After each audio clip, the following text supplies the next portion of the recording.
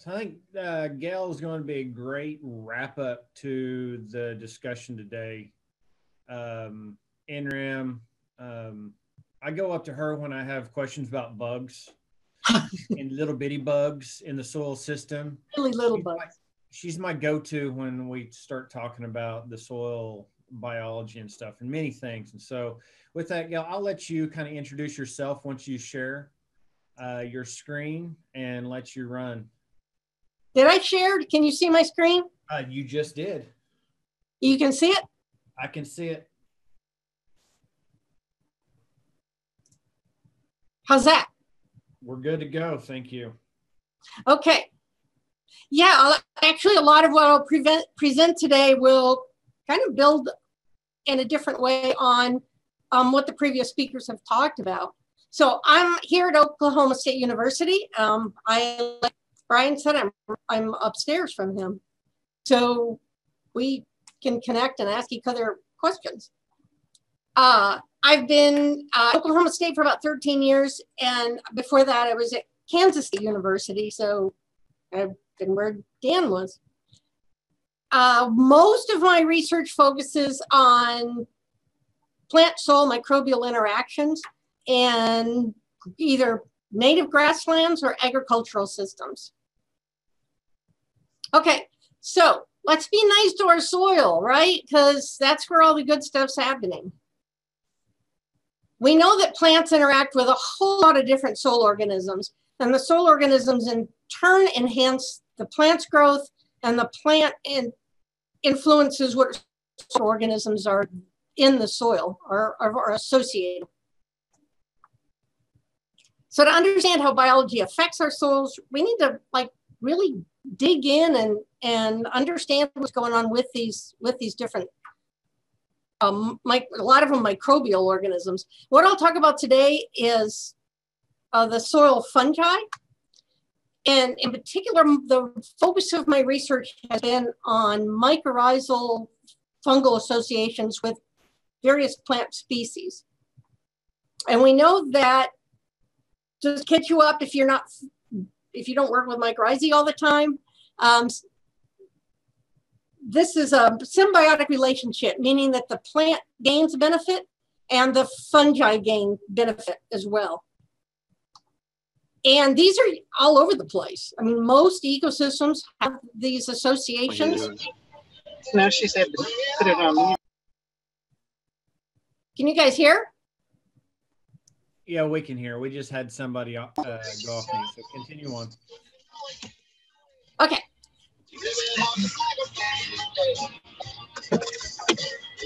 All right, somebody out there is uh, not muted. Check yourselves. Okay. Harry, check your mic. Nightingale. So, okay, so these these fungal associ- fungal plant associations are everywhere. Most ecosystems have them, and, and including agricultural systems. Form this uh, mutualistic association with the fungi, and so do most of the grassland plants. Uh, some plants don't. About 90% of plants form a relationship with the mycorrhizae, with that fungi, but there are some the, the brassicaceae, so uh, garlic mustard or canola, for example, um, broccoli, they do not form a mycorrhizal association. But for most plants, it, the association in low nutrient soil is actually critical.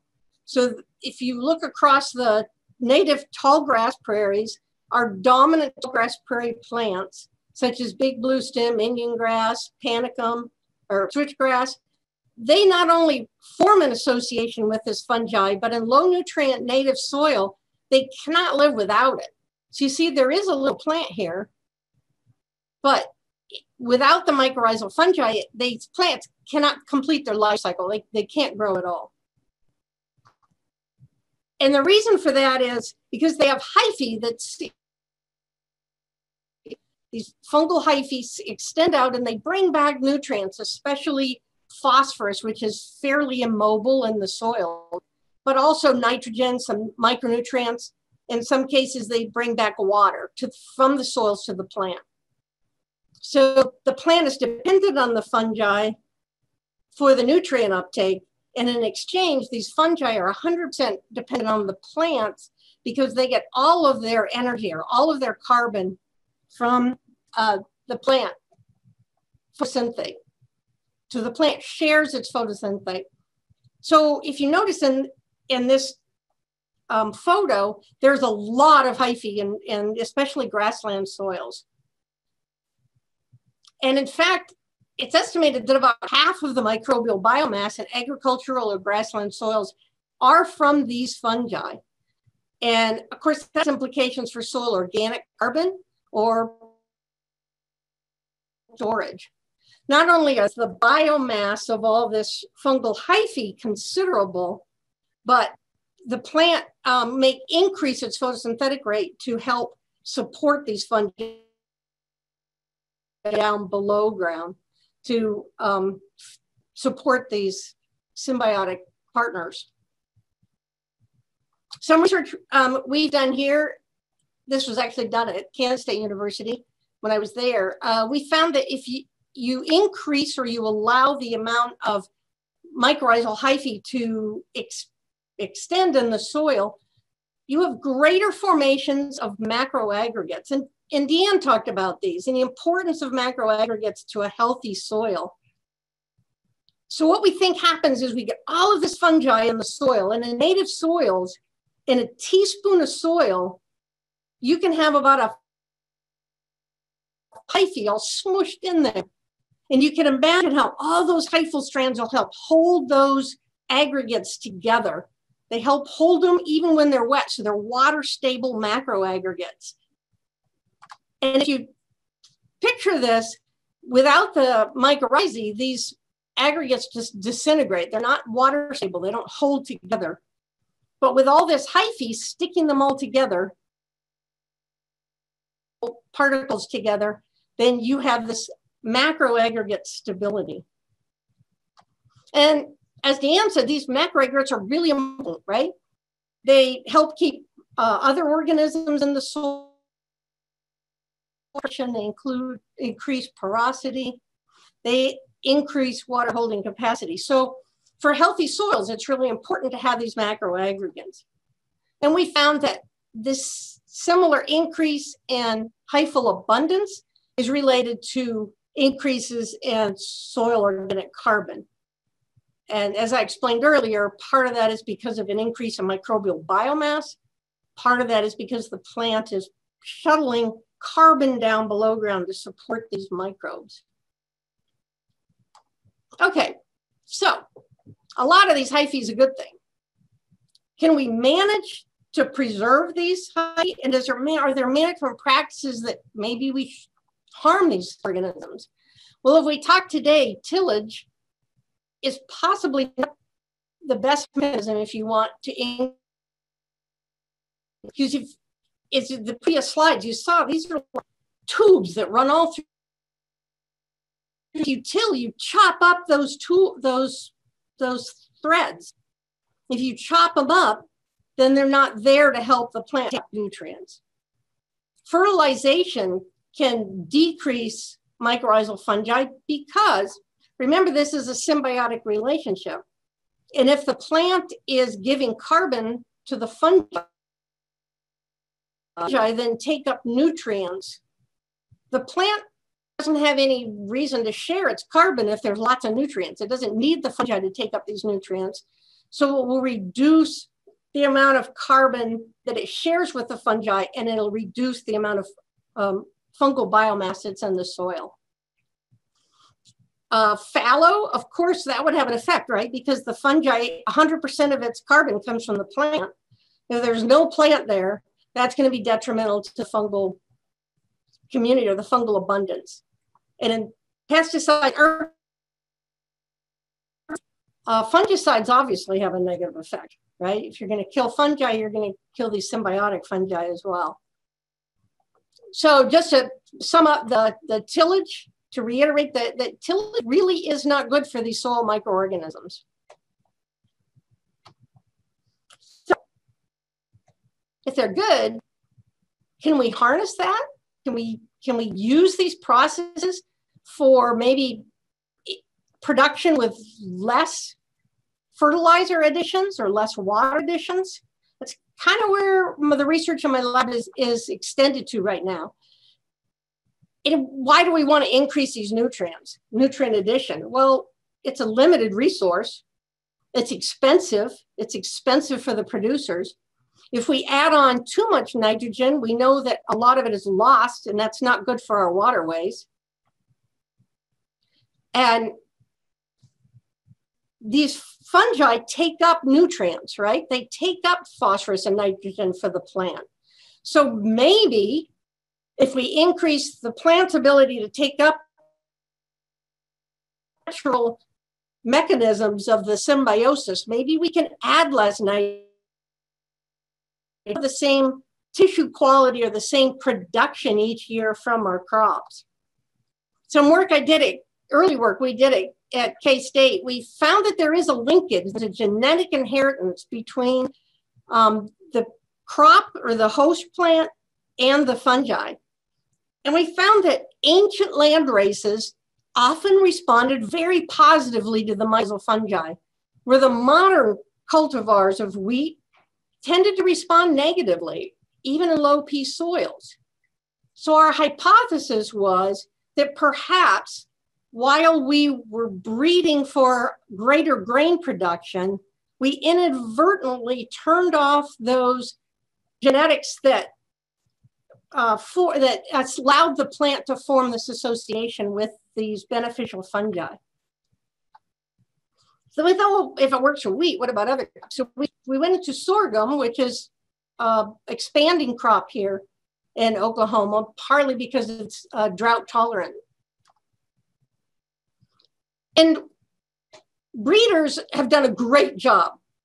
So if you see that's an early cultivar that has not been um, under has not undergone very much modern uh, breeding, and it has been breeded. It's improved the yield, it's improved the disease resistance. So it's giving us more crop and in a limited amount of space we have available for crop production. So we're not bashing on the breeders, but we are working with breeders right now to say, let's look at the below ground traits while we breed. Let's take into account um, some of the genetics and see if we breed can breed crops to use this um, symbiosis instead of just fertilizers.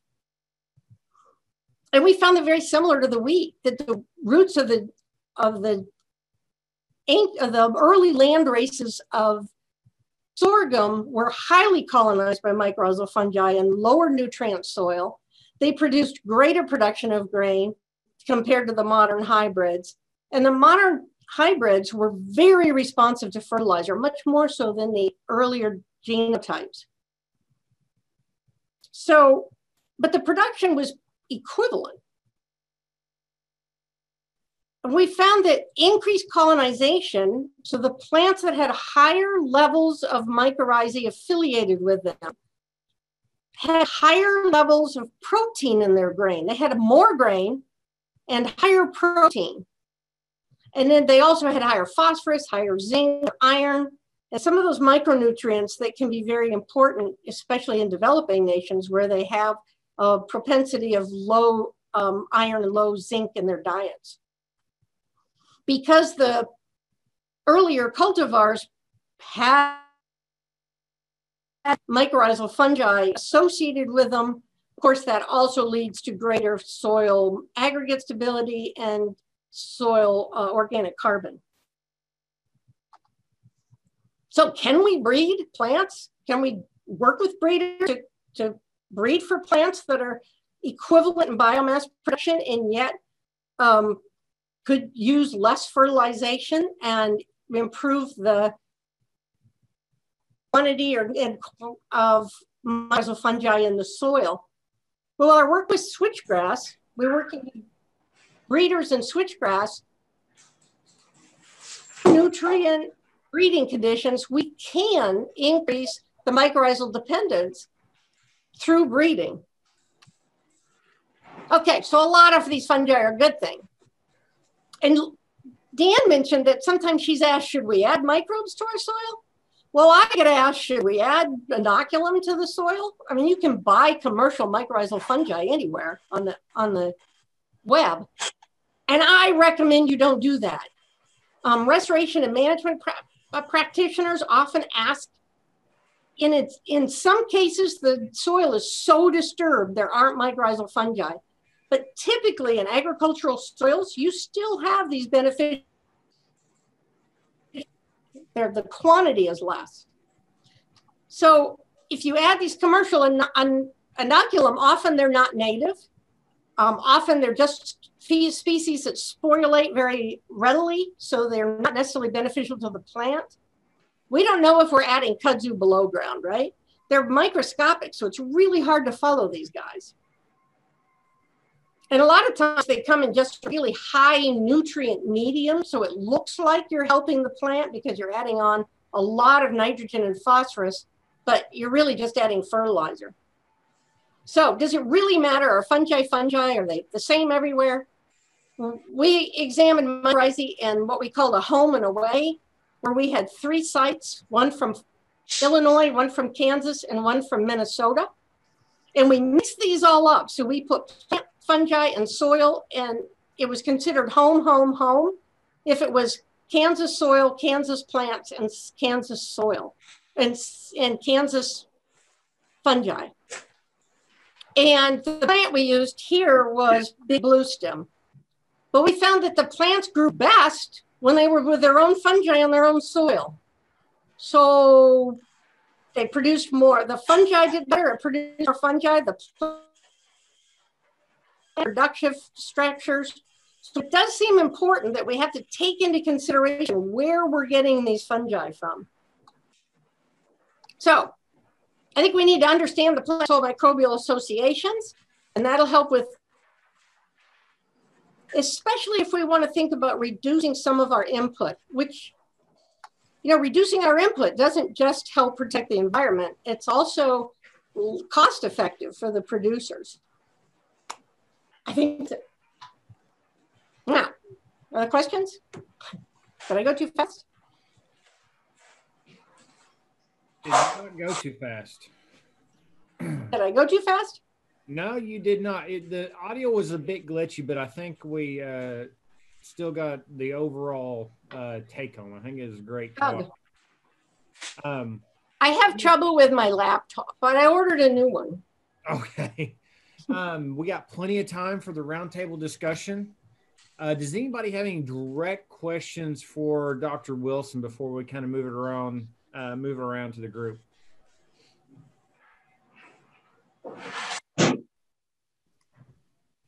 Okay, Gail, if you can unshare your screen, we'll kind of go back to. Did I unshare it? Uh, no, you're still sharing, but I can. How's that? There we go. That works good. All right, we still have all of our presenters online. Uh, does anybody have any opening questions? Uh, it could be to a specific speaker or to be to the group as a whole.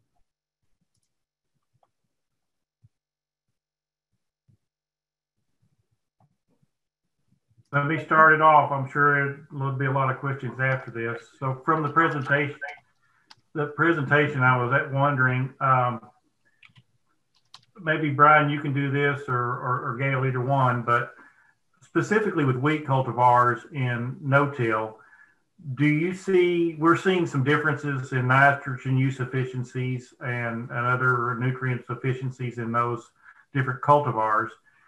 Have we been able to demonstrate that that might be mycorrhizal? Uh, some of those uh, modern varieties have still have some dependence on some mycorrhizal that that others have not? Yeah, the modern varieties with the mycorrhizae. Um, what we think is that they may have have lower uh, propensities to form that association than the older um, ancestors, but they still do form mycorrhizae. And even in agricultural fields, the, the abundance of the fungi will be reduced, but they'll still be present. Jimmy on the. Oh yeah, it could be. on the stuff we've done with nitrogen and phosphorus. That black water is not fixed. I called Randy again this morning. He thinks maybe he can get it this week. So. Okay, I just muted somebody. Um, uh, Jimmy, on the nitrogen and, and, variety stuff we've done with the new cultivars, nitrogen and phosphorus. On phosphorus, it's very much related, not completely, but very much related to aluminum toxicity. So the those cultivars that are more aluminum tolerant tend to have a compensity to be better phosphorus use efficiency. It's not perfect, but overall those and those that are not aluminum tolerant but really good at P uh, had the capability to release more uh, organic acids, which may stimulate mycorrhiza fungi or may just stimulate the release of phosphorus. You know, either way. On the nitrogen side, uh, everything I've seen is all about the root system. I can drive every one of those cultivars back to be good NUE. They're also good water UE, and they have more below ground biomass than above ground. That that root to shoot ratio is shifted on those good NUE plants. That also could also be with the mycorrhizae fungi that you get that much bigger, but that's what I've seen. Uh, we have not gone directly to look at the cultivars to see how well they are uh, correlated with that. I want to go back to the nitrogen side. I'll uh, from the and this was from uh, Josh Lofton. If we get more efficient, and I have data to to back my answer up, so I want to get the everybody out there to get their opinion first.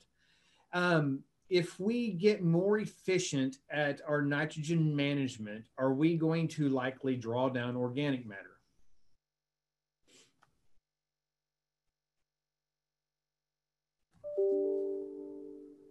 Does, it, does the group want to take that or you want me to share the, the long-term data?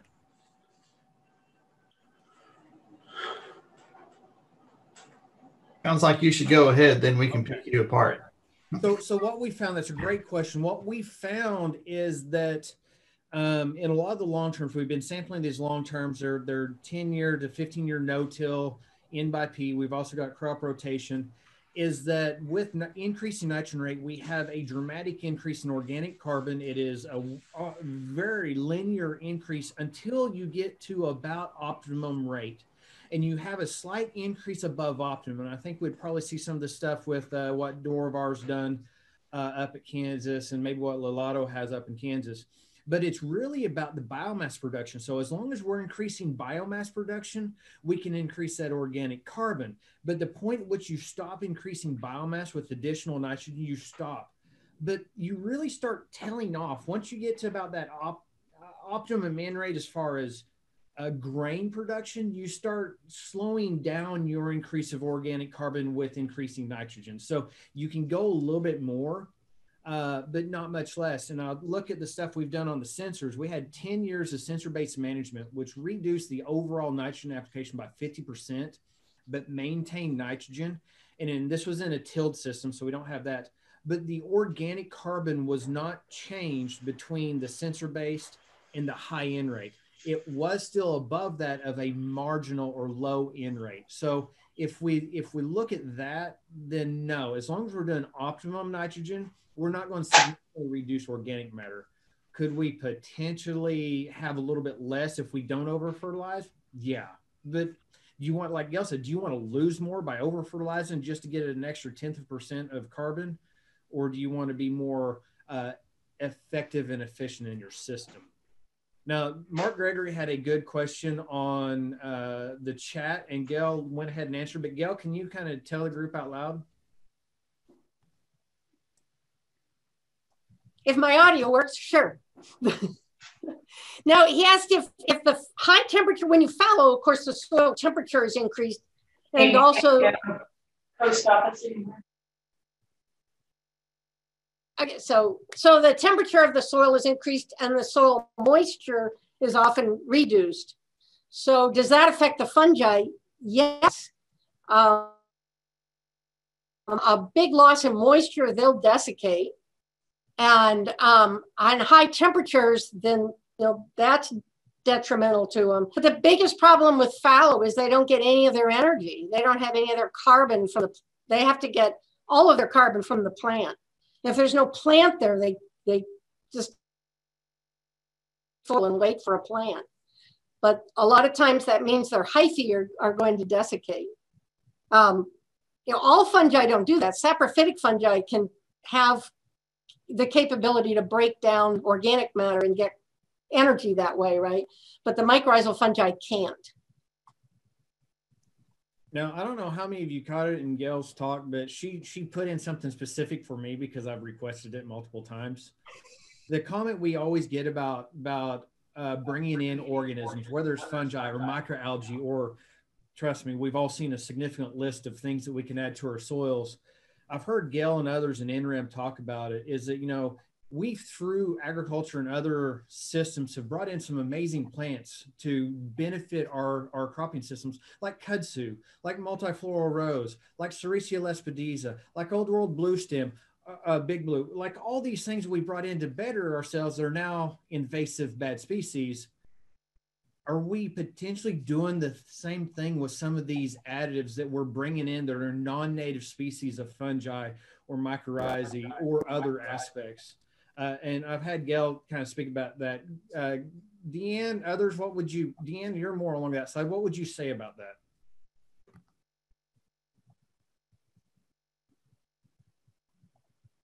Deanne's sharing, so she has something in mind. You're muted, Deanne. There we go. Sorry, I'm in that uh, neverland of having too many screens open right now.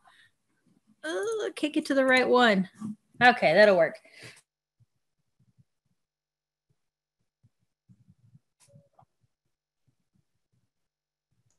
All right.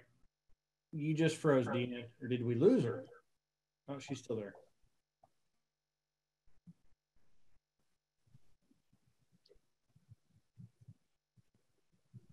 We do not have you. I don't know what Deanne's saying. We've lost her. Okay. Ooh, there we go. There you are. Now you're back on. Sorry, I froze for a second there. Say, hit me with it one more time, Brian. What'd you say? I, I'm just saying we lost you. So go ahead with what you've got. You're showing. Well, I forgot to say this earlier, but there's this new, um, you know, I like DIY things.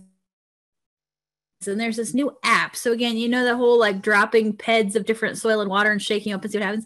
There's this app that's new and it's only in the Google Play Store, but you can um you can it takes a 10 it's a 10 minute image that it takes of your soil falling apart in water and then it um put some kind of number on it. So I haven't actually tried it. I'm going to do it this winter to a few hundred samples and see what I think of it. But and it's something anybody can use. I think of it's it's similar, you know, it reminds me of the Canopeo app, Citizen Science. You can try it out yourself, see if you like it. Um, and it's uh it'll take your time, but it's cheaper than sending samples to a lab. So I just thought I'd mention that. It's called the Slakes app. All right. Um, so Paul, have you seen anything along the lines of what Josh and we've seen as far as any any interaction with weed, weed management, and such things? We haven't quantified it um, at this point, but um, we should and could. But um, you know, there's definitely advantage of having a cover crop over leaving it fallow, and that's that's apparent. Um, I guess sometimes, you know, I like to like to think that we're getting complete weed control, which isn't going to be um, possible, but we do see um, reduced weed pressure over fallow, and then um, a few weeks into the year, and um, I would say, you know, rye's done well, of course, and wheat, and then um, early on, um, the vine growing cover crops like a vetch or a, a winter pea that's has very good biomass production and completely covers and smothers everything out.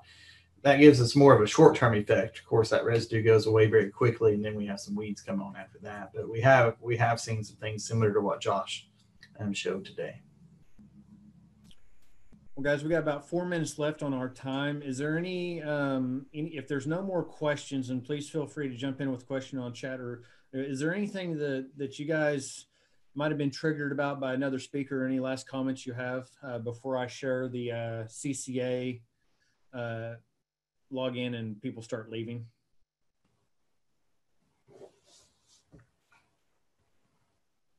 I'll take that as a no. So I'll share my screen. Uh, so ahead, so let me let me ask Gail. You know, going back to that adding non-native populations to the soil. Uh, we do that all the time with inoculum, uh, because Oklahoma does not have native soybean inoculum present in enough populations to sustain a, a soybean crop. Uh, and we find that they just can't sustain in the soil. Uh, so would that be the same thing with these added mycorrhizae, that it's a one-year thing? uh, or because it it is more aggressive potentially would it would it be able to take over native populations what what do you think would happen more So what you add with the soybean is rhizobium, right? Yeah. So the the we don't really know, Josh. The the um non nate so some of these soil inoculum or mycorrhizal inoculum you can get off the web are obviously not from the US. They're they're from other areas. And often they're selected because in they, transport well, right? They can go in artificial media and not die. They use spores mostly, which are their little, you know, the little reproductive structure. What they select for is are fungi that have make a lot of spores because you want to have a lot of inoculum with a little input, right? But that's totally fungal centric, the spores. That doesn't necessarily, you're not selecting for species or taxa that to the plant. And we don't know if you add those, are they going to be like kudzu that take over and and you know outcompete the native fungi? We don't really know. But I do know that we have found that when you put plants where they don't belong, it's not always met with what we want. And plants are hard enough to get rid of when you can actually see them. It's still really hard to get rid of invasive microbes that we can't even really see that well. So I think maybe we should just not even go down that road. well and and brian can cut me off at any time but gail there's there's been a big uh, discussion point on how treating with inoculum slash the soil fungi or, or native rhizo or uh, rhizosphere are affected by seed treatment fungicides and seed treatment insecticides on on whether there's any impact or not. And so uh, i didn't know if you had any comments on seed treatment for fungicides and all if if uh, you thought there was a major impact in rhizosphere communities or or you know non. I could be wrong, but I think that the fungicides they put on the seed coat is is has a really short lifespan, life effect on the soil, right? Time. Uh, some can some, i mean some can be present for a, a decent amount i mean it depends on what you consider long term for a crop system 30 30 days is pretty long for us you know not not necessarily for you know the, the life of the soil Well, I was thinking short term, like days. So it probably doesn't have you know days or a week. It probably doesn't have that large effect. But fungicides, if you you know, obviously they'll have an effect on the fungi because you're trying to get rid of the pathogens, but the mycorrhizal fungi are going to be affected as well. So we'd have to really look into that. I don't I don't know that anyone has looked at that. Well, the, the argument is there's not as much AMF in that top uh, inch, you know, that, that you're reliant on that is, uh, you know, where the seed treatment is. But then the counter argument is there is.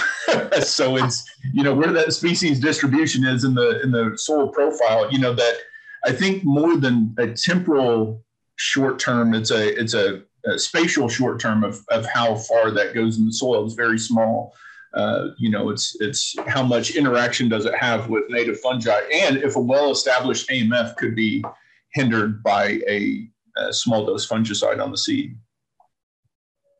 Well, I would argue that the majority of the of all the microbial activity, including mycorrhizal fungi, are in that top layer of the soil, and where the root fine roots. So, a crop, but most crops have relatively shallow, fine root systems. And so the, the actively growing fine roots are. So I, I would argue that they are in that top inch. Yeah, that that's a very highly contested, and and I think you're right. I don't I don't know if anybody has that data. I think a lot of people are making comments without it being known, but it's interesting. It's a it's an interesting concept to think. You, there are a lot of studies where, I mean, like six feet, eight feet down, you still find mycorrhizal fungi, but the abundance is going to be on that top active layer where everybody else is active, right? for the CCAs that are on their phone and unable to, to take an image, if they send me uh, their information, their email, or contact me, I can send you the slide with that uh, barcode, or I can get you signed in for any of you guys that need it and can't reach it. I've had a couple people text, so let let me know. Uh, with that, we're at 10:30. We can continue on, but I'd greatly appreciate the time from our presenters. I think this is a great diversity from both geographic and in background and I thought the conversations were great. I've already had some people uh, time in speakers that they really appreciated the what you guys have talked about, and um, and have more. Um, yeah, Jimmy. Jimmy's just saying he has more questions. You can always ask questions, Jimmy. So so jump right in. But um, I appreciate it. Uh, if there's any other time, the speakers may have a couple minutes to jump in, but this is the official end of our time. So thank you, Deanne. Thank you, Gail. Thank you, Paul. Thank you, Josh. I really enjoyed all your topics. I enjoyed all your discussions. Thank you, Brian. Thank you. This was fun. It was nice to see everybody. Yeah, good to see you, Gail. Yeah. Disappeared. Didn't go away. Do you want us to hang out for a second, see if there's any questions that come in? Just hold for a couple. Okay. Uh, but- Damn now. It keeps clicking off. Every time you move. There we go. That's funny. I keep Wilson. I keep shutting you off intentionally. Not not Gail, the other Wilson.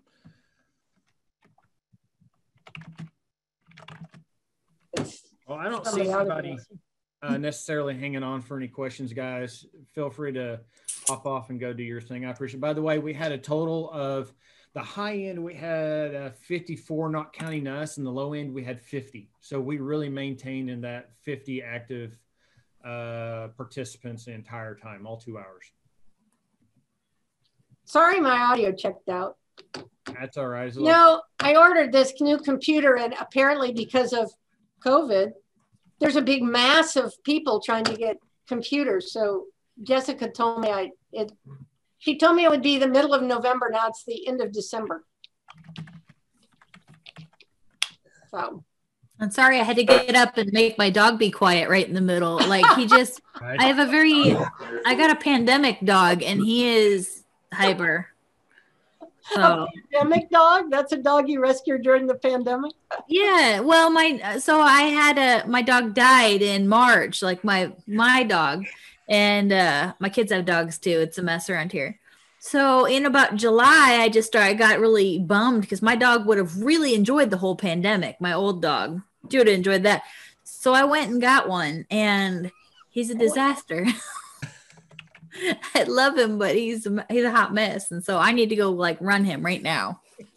Deanne, I am a little disappointed that you did not stream live from an excavation pit today. Oh, you are certified now, so I was yeah. expecting it. OSHA certified. We're big guy. Yeah. Um, yeah, there's a story behind that too. Uh, so the reason I had to go, and I don't even know, I think I've done four excavator and excavation classes now. It's because I got in trouble. So For your pits or your home activity? um I just we have a safety person that got upset with me. So I had to go to school. And so now I'm out of excavator jail. I can dig whatever I want wherever I want. So This this was you run an excavator on your own property and you got in trouble. it was, in fact, yes. But she didn't really have any authority, but she said she did. So she just uh, wrote a bunch of tattletale emails to, like, you know, the big bosses and stuff. So now I have a sworn enemy. On your own property, you got in trouble for digging a pit? So I have an excavator and I have an acreage.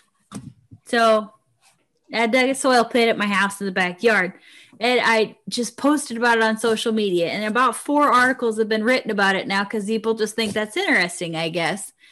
And so after those articles got published, the safety person said, You're not allowed to dig your own pits because you haven't had excavator training. And I was like, I mean, the fact that I can dig it makes me feel like I can do it, you know? Like, fine, fine, fine, fine, fine. And, And- your excavator, right? It's not like it belongs to Kansas State. Correct. But because I used it for teaching purposes, the video, it was, it needed to, the only thing she really ever got me on was the fact that a competent person had not looked at it and blessed it. So, which makes me wonder what she would do if she could get her hands on every, you know, soil pit that we do for our pur- like teaching purposes, right? Or contests. So now that you've been to school, are you that competent person that can show up and know that you're not going to kill anybody? Yes, I'm competent. So now you're competent. I'm OSHA competent. My teacher at the class was interesting though because he goes, "Sugar clay, that's a word you use, right?" And I was like, "What is sugar clay?" I mean, everybody says sugar sand. I got that, you know, but sugar clay, huh? So anyway, after thinking about this for about a day, we decided that, and then eventually we went to the field. He meant like um, silt silt or like a silt loam like that's just really silty so this was in nebraska where they have a lot of really silty you know like light silt loam soils so he meant like silt loam parent material because you know you get it on your hands and it crumbles apart and you go like this and you know you clap and it just goes everywhere i'm like so it was actually 24 hours of pure torture is what it was to be honest with you That's awesome. it was three days it was All a right, three day guys, I'm class shutting her down. That's awesome. I'm bye shut it down. We'll talk to you guys Okay. later. Have a good one. Bye Bye.